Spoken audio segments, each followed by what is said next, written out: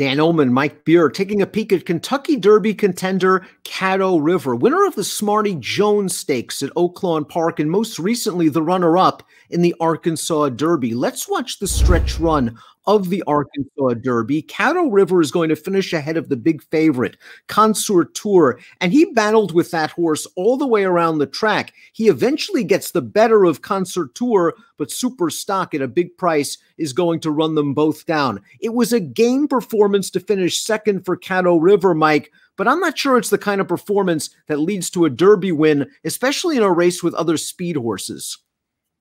Yeah, it's not. Um, it, will be interesting to see what happens. I'm actually a little surprised that they're going to press on with this horse and go to the Derby with him because it just doesn't, you know, seem like the kind of race that this horse is going to be able to be all that successful in. Dan, I mean, there's a lot of other speed for him to deal with. I, you know, I guess I'll give him some credit for running better in the Arkansas Derby than he did in the Rebel. Um, but how much better did he really run in that race? I mean, even there, you could see in the stretch run of that race that we just showed you, he really wasn't doing anything at all in the stretch except trying to survive. I mean, he was just going up and down at the end.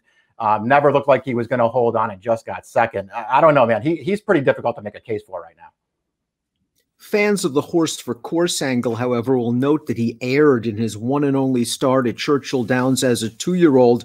But I think you're right. His Beyer speed figures for the Arkansas Derby and Rebel only in the 80s, far away from horses like Rock Your World and Essential Quality. And when you look at his big victory, the Smarty Jones, it was just a race where he controlled from start to finish against inferior competition. He still has a lot to prove.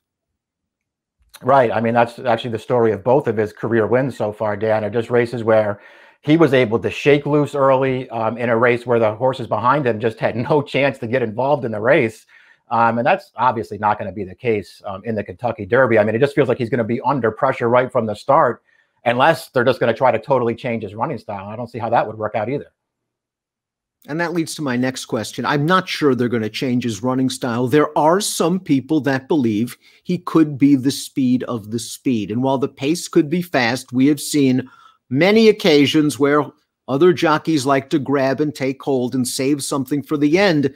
I guess there is a scenario where Caddo River can get to the front and control things. Even if that's the case, considering his form, could you like him? Uh, no, uh, I, I, couldn't like him going into the Derby. I'm not. Listen, maybe he is the speed of the speed. I don't see how that's helpful. Um, going a mile and a quarter against horses that are just better than he is. Um, you know, certainly being lone speed in a race can be an advantage, but it's not just going to automatically propel him to the winner's circle. Um, you still have to have um, the the form um, and the ability to wire the the field that you're running against. And I don't think this horse has it. He's won twice at a mile. Now we'll have to go a mile and a quarter. Caddo River, a likely pace factor in the Kentucky Derby for an excellent barn, but he's going to have to improve.